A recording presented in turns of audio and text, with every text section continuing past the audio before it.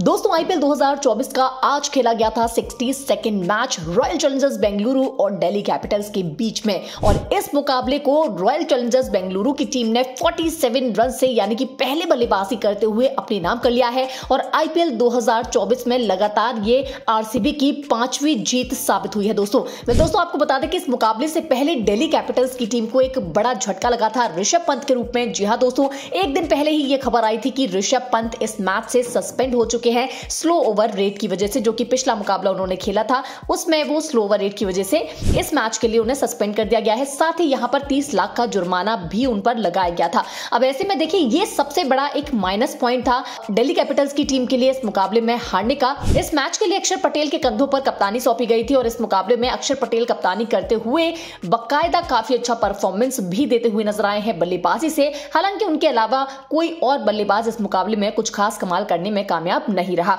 तो देखिए आज की हाईलाइट्स की बात कर लेते हैं दोस्तों। तो देखिए इस मुकाबले में टॉस तो जीता था दिल्ली कैपिटल्स की टीम ने लेकिन भैया यहाँ पर मैच जो है वो आरसीबी की टीम ने अपने नाम कर लिया है। अब देखिए यहाँ पर टॉस जीतकर पहले गेंदबाजी करने का फैसला करती है दिल्ली की टीम जहाँ पर आरसीबी की टीम आती है आ, मैदान पर बल्लेबाजी के लिए। ओपनिंग करते हुए हमेशा की तरह नज़र आते हैं यहाँ पर विराट कोहली और फाफ टुप्लिसिस जहाँ विराट कोहली ने तेरह गेंदों में सत्ताईस रन बनाए। इसमें देखिए एक चौका और तीन छक्के विराट कोहली ने लगाए थे लेकिन यहाँ पर वो ईशांत शर्मा की बॉल का शिकार हो जाते हैं। तो वही फैफ डुप्लेसिस का बल्ला भी इस मुकाबले में नहीं चला और वो सात गेंदों में एक चौका लगाकर छह रन बनाने में मात्र कामयाब रहे।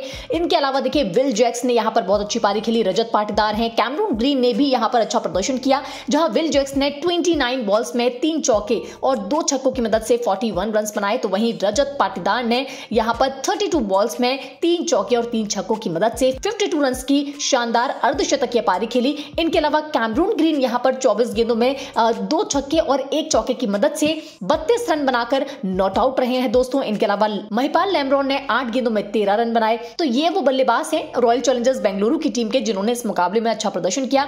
और इन खिलाड़ियों की बढ़िया बल्लेबाजी की बदौलत ही आरसीबी की टीम 187 रन बनाने में कामयाब रही। अब ऐसे में यहाँ पर अगर बात करें दिल्ली कैपिटल्स की गेंदबाजी की दोस्तों तो ये बहुत ही आ, हमें बढ़िया देखने को मिली है। इस मुकाबले में ईशांत शर्मा ने देखिए मात्र एक ही विकेट चटकाया था दोस्तों, जो कि बहुत ही महत्वपूर्ण विकेट था दिल्ली कैपिटल्स की टीम के लिए। जी हाँ यहाँ पर विराट कोहली का विकेट ईशांत शर्मा ने निकाला था और उन्हें पवेलियन का रास्ता दिखाया था। इनके अलावा खलील अहमद ने देखिए, हर बार की तरह अच्छा प्रदर्शन किया है। इस मुकाबले में चार ओवर उन्होंने कराए थे, इकतीस रन उन्होंने दिए, साथ ही दो विकेट यहाँ पर उन्होंने अपने खाते में जोड़ लिए हैं। रसिक दर सलाम ने भी यहाँ पर तीन ओवर कराते हुए तेईस रन देकर दो विकेट चटकाए हैं दोस्तों, और उनका इकोनॉमी रेट जो है वो है सेवन का।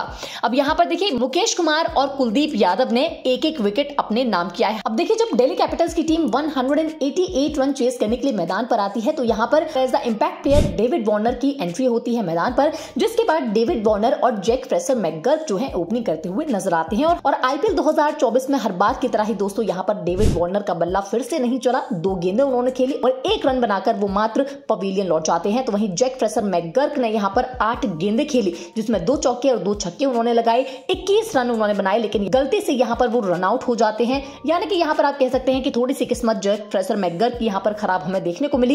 इनके अलावा देखिए, अभिषेक पोरल ने दो रन बनाए। शे होप ने यहाँ पर तेईस गेंदों में उनतीस रन। तो वहीं अक्षर पटेल बहुत ही महत्वपूर्ण भूमिका निभाते हुए नज़र आए हैं इस मुकाबले में। 57 रन की अर्धशतकीय पारी खेली है। और देखिए, यहाँ पर अगर अक्षर पटेल को कप्तानी सौंपी गई थी तो उन्होंने इस तरीके का प्रदर्शन भी दिखाया। अक्षर पटेल ने अपनी 57 रन की अर्धशतकीय पारी में पाँच चौके और तीन छक्के लगाए थे।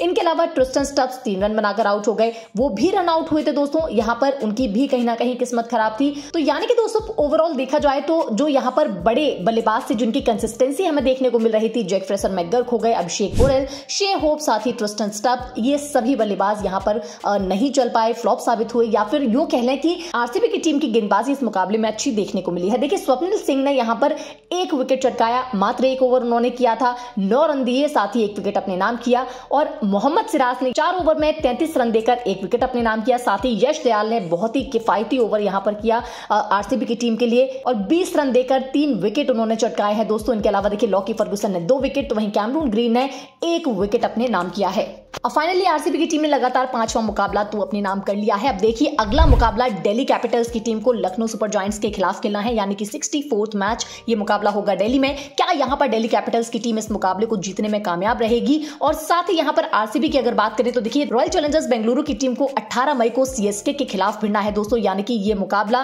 क्या आरसीबी की टीम जीत पाएगी? क्योंकि यहाँ पर अगर पॉइंट्स टेबल पर नज़र डाले तो आईपीएल 2024 की पॉइंट्स टेबल में सीएसके की टीम नंबर तीन पर काबिज है, जिन्होंने तेरह मुकाबलों में सात मैचेस जीते हैं, छह मुकाबले में हार का सामना करना पड़ा था। साथ ही यहाँ पर 14 पॉइंट्स उनके हो चुके हैं।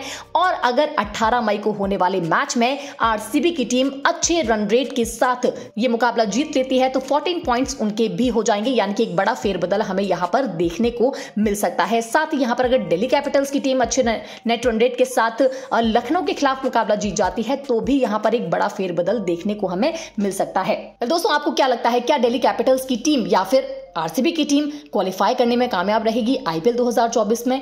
आपको क्या लगता है? नीचे कमेंट सेक्शन में हमें ज़रूर बताएँ। इसी के साथ इस वीडियो में फ़िलहाल इतना ही। अगली वीडियो में आपसे फिर मुलाकात होगी। तब तक के लिए आप देखते रहिए cricket line guru, so stay tune and keep watching